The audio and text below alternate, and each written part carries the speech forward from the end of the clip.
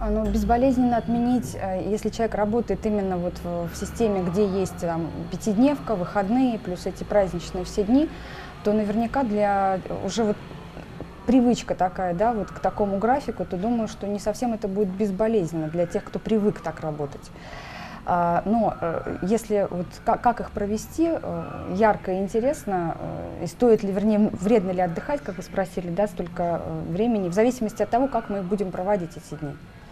То есть, если человек куда-то активно выезжает, чем-то интересным занимается, не знаю, путешествует, занимается собой, вот тогда, я думаю, это будет в большую пользу, и плюс ко всему даже, э, когда он возвращается на работу, совершенно в другом состоянии настроения.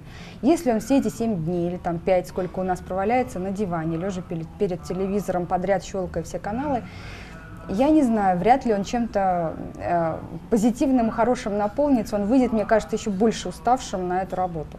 Но я замечаю, что сейчас тенденция такая, что все-таки люди стараются активно куда-то выезжать, проводить как-то время на природе, э, ездить в какие-то путешествия интересные.